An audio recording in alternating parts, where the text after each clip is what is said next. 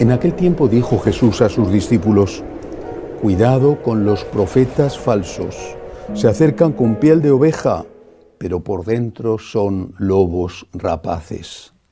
Por sus frutos los conoceréis. A ver, ¿acaso se cosechan uvas de las zarzas o higos de los cardos? Los árboles sanos dan frutos buenos, los árboles dañados dan frutos malos. Un árbol sano no puede dar frutos malos, ni un árbol dañado dar frutos buenos. El árbol que no da fruto bueno se tala y se echa al fuego, es decir, que por sus frutos los conoceréis. Palabra del Señor. ¿Quiénes son los falsos profetas? ¿Qué es la piel de oveja?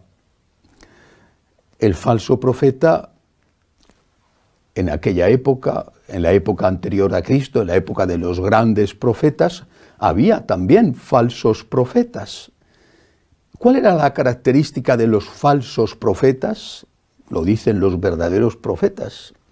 Su característica era que decían siempre lo que quería escuchar el que mandaba no hablaban en nombre de Dios, no corregían los defectos del pueblo, no les advertían del riesgo de adorar a otros dioses o de los pecados contra cualquiera de los diez mandamientos. No, porque eso les hacía impopulares.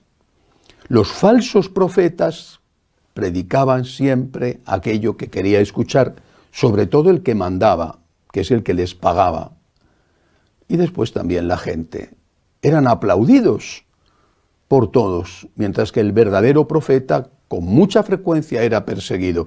Lo dice Jesús cuando critica a Jerusalén, dice que ellos, sus padres, habían matado y apedreado a los verdaderos profetas y habían aplaudido a los falsos.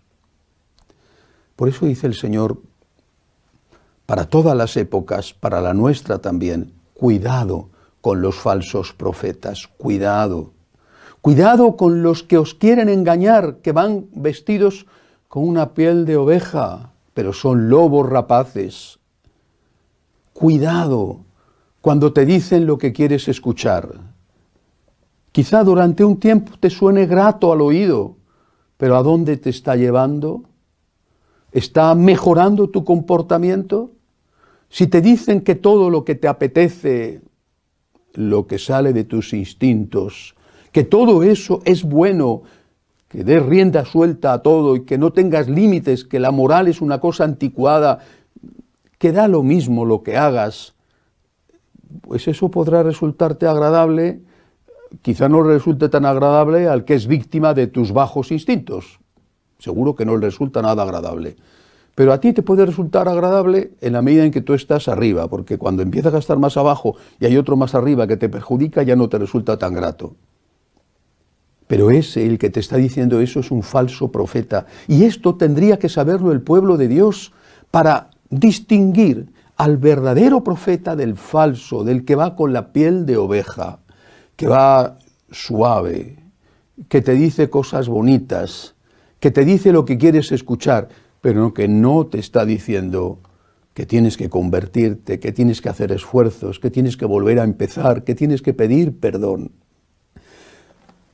Yo creo que nunca en la historia, nunca, nunca hemos vivido un tiempo donde haya menos misericordia. Nunca.